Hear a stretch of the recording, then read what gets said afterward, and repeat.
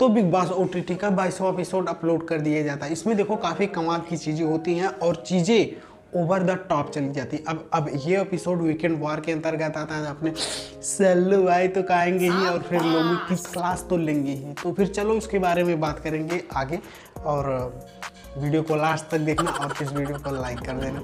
Channel subscribe भी कर देना और मिलते हैं नेक्स्ट वीडियो में। चलो बाय अच्छा अच्छा। अभी कैसा लगा मेरा मज़ाक? चलो बात कर लेते हैं। तो शुरुआत में क्या होता है कि फलक और अभिषेक अरे यार ये दोनों का नाम यही से क्यों स्टार्ट होता है। अविनाश ये दोनों का भाई लव स्टोरी चल रही होती है फिर उसके बाद क्या होता है अविनाश चूतिया उसको प्रपोज कर देता है और फिर वो फलक इसको फ्रेंड जोन कर देती है जो कि बिल्कुल नहीं करना चाहिए क्योंकि वो भाई जिस तरीके से वो इधर उधर हो रहा था इन लोगों का तो वो सेम पसंद सेम वही लग रहा था। लेकिन चलो कोई बात नहीं। अच्छा हुआ साला हरामी है। कोई दिक्कत नहीं है। अच्छा किया।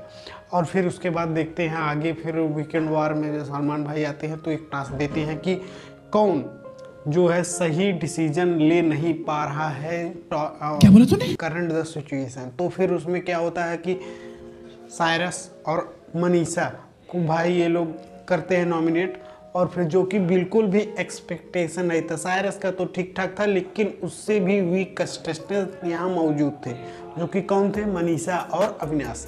ये क्या होता है? सॉरी फलक और अविनाश। फलक क्या करते हैं, वही हमेशा जब लोगों का ओपिनियन आ जाता है, फिर उसके बाद कोई झगड़ा होता है तो उसमें चिल्लाना है वो स्टार्ट करती है।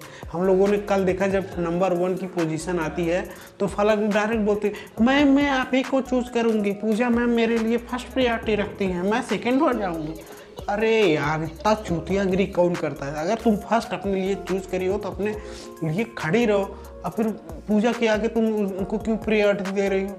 भाई, ये तो चूतियागिरी है ना पूरा का पूरा। तो फिर इसमें भाई वो सच में और जो अविनाश होता है, वो जब कोई सिचुएशन आ जाती है, किसी के बीच में कुछ एंगर टाइप का वो चल रहा होता है तो वहाँ वो बीच में आता ही नहीं। जैसे अभी देखा जाए, कल जब जॉर्ड जो है गुस्सा हुआ था, उन लोगों के बीच में ये भाई नहीं आता है। सीधे बोलता है, मैं भाई अपनी एनर्जी वेस्ट नहीं करूँगा, मैं इन लोगों को समझाने नहीं जाऊँगा। अब ये भाई, है ना चूतियागिरी वाला काम? अब जब कोई बात होता है ऐसे वैसे तो फिर ये बीच में कूदता है। लेकिन ऐसे मेरी सिचुएशन होती बहुत आके भाई एकदम मस्त इंटेलिजेंट हिटलर बनता है।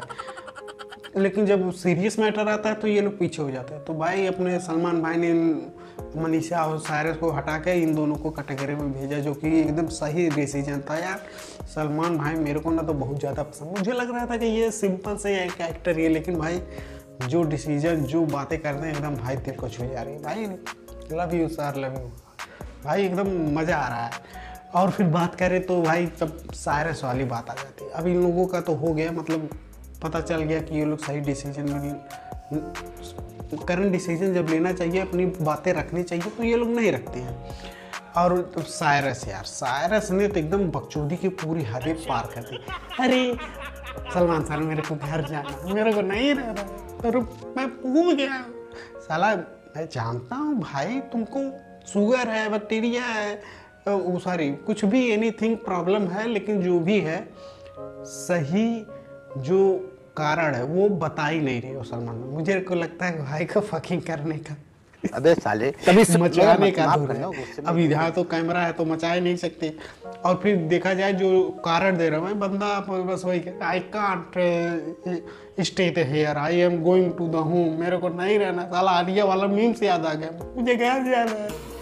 अबे जा साला मैं होता ना तो गांड में दो लात मार कर लेकिन अपने सलमान भाई भाई भाई हैं तो उन्होंने कन्विंस कर लिया लास्ट में। इतना रोया इतना रोया, साला इतना गुस्सा लग रहा था मोबाइल में घुस के जाके पहले इसको दो थूचा मारूँगा और फिर उसके बाद बोले भूसड़ी के चुप हो जा। जहाँ बोलना होता, वहाँ नहीं बोलता, पूजा मैम के सामने ये बैठे खाना पिया, सोया, फिर यही करता रहता है। ना ही शुगर लेवल बढ़ाया साले वहाँ तुम पढ़े हो, ये सब कुछ है भाई डॉक्टर है, सब, ये सब है, पूरी दुनिया दिख रही है। इतने बड़े दोगला पंथी दिखा रहे हो, तुम्हारे फैंस तुमसे इंस्पायर होते हैं।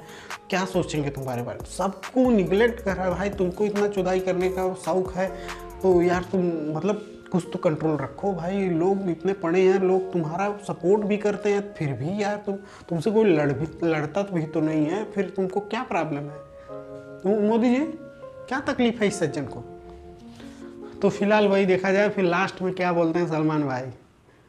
अगर तुमको जाना है कॉन्ट्रैक्ट है कॉन्ट्रैक्ट में नहीं भेज सकता, अगर तुमको जाना है, जियो सिनेमा का इतना लॉस होगा, इतना पे करो, फिर यू आर गो बंदा शांत हो जाता है, लेकिन बस इसी में एपिसोड ही खत्म हो जाता है। भाई, इतना क्रिंज लगता है, इतना बवाल लग... मतलब एकदम दिमाग खराब कर देता है पूरा एपिसोड की गान मार दी। सलमान भाई का टाइम वेस्ट किया, हमारा टाइम वेस्ट किया। चलो, फ़िलहाल इस वीडियो में इतना ही। मिलते हैं नेक्स्ट वीडियो में ब्रो